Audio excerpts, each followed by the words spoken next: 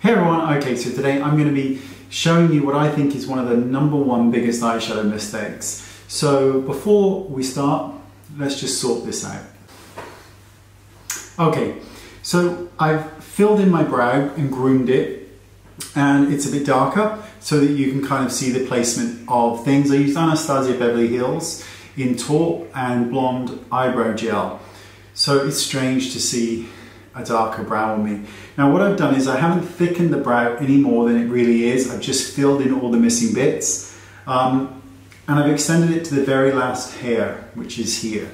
So a lot of people think that the that they're not great at blending and that's why eyeshadows um, oftentimes don't work out the same way. Now blending is a very simple thing and it's easily, it's easy to blend and I'll show you in a different video.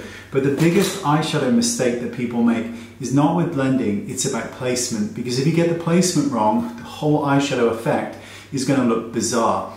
And you know me, I don't like to cover the entire eye with eyeshadow. I like it to enhance your eye and the way that we do that, it's really all about placement. I'm just going to use one single eyeshadow for this whole tutorial, um, which is just going to be a bronze. Now, a lot of people think, I'm just going to put a dot here. So a lot of, I'm just going to, let me just do that. Now, the only time it's really appropriate to put color just on the eyelid is in you're following the shape of your eye here, is if you're only going to apply it to the eyelid only because I mentioned this before, my eyebrow stops here. But if we're only applying it here, if I draw this line up here, it's cutting off the full whack of the eye and it's going to give a very distorted look because you're basically just, you know, going like that, right? That means that there's so much more space here, which is why it looks a bit mental. So what I like to do is, and let me show you on my eye with my eyebrow, the placement. So there. So let me draw that there. That's the placement of the eyeshadow. It is in the crease, but it is extended out from my eye. Oops.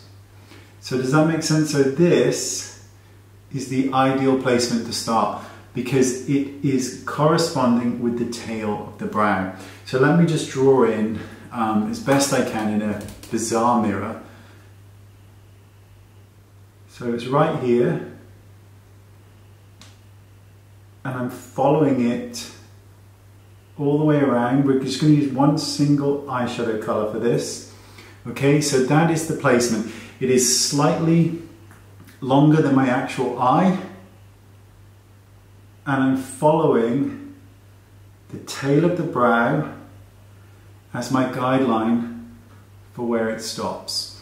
So let me just now fill in the entire portion of this eye with this colour.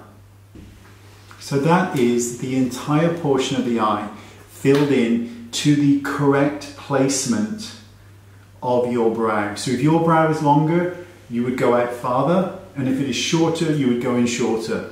Now what you do is take a blending brush, starting right there, the outside corner, and blend back and forward.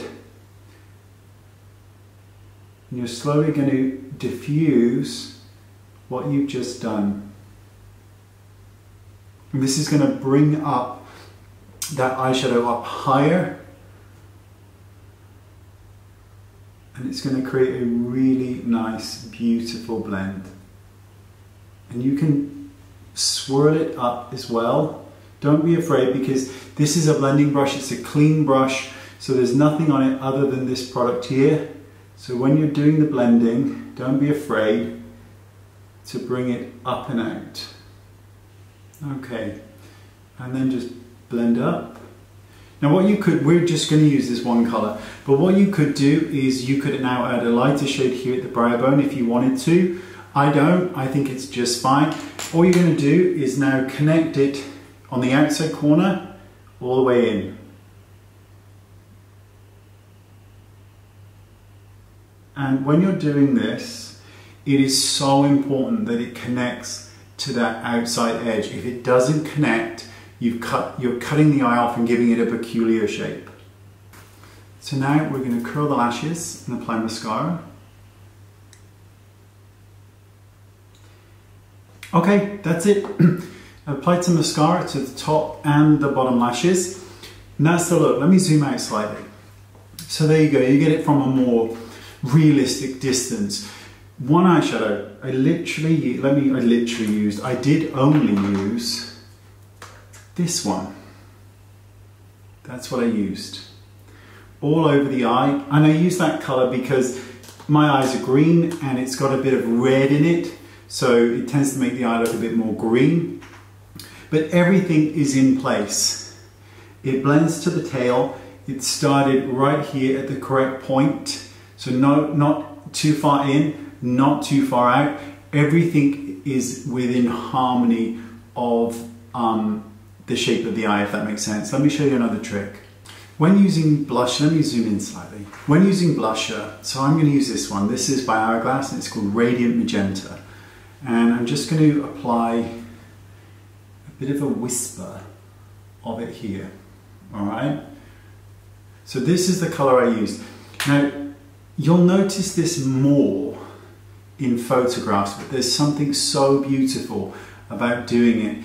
All you do is take your blending brush, just take a whisper amount of it, knock it off, and then lightly just run it through the crease of your eye.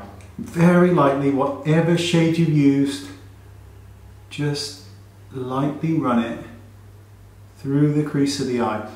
It will add um, continuity to your look so that your blusher here looks like it, it, it, everything ties together and it ties together in such a beautiful way and it looks beautiful in person because it's just this fraction of a color and in photos it looks amazing because you look like you belong. Everything belongs and that's the goal. Thanks so much and i'll see you all soon. Bye bye